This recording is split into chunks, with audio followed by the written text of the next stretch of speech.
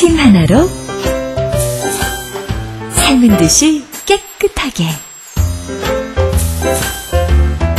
마음 놓고 폭폭 구김까지 쫙쫙. 스팀 트럼 하나로 끝내세요. 트럼.